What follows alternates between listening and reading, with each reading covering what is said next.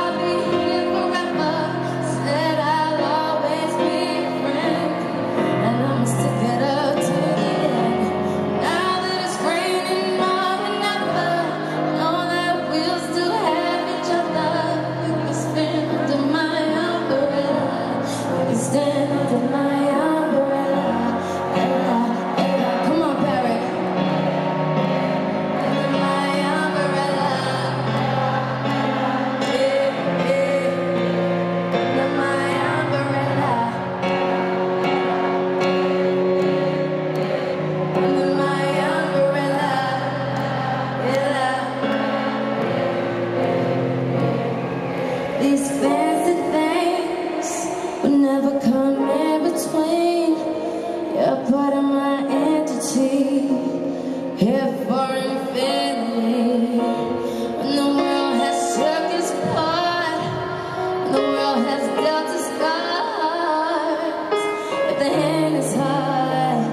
together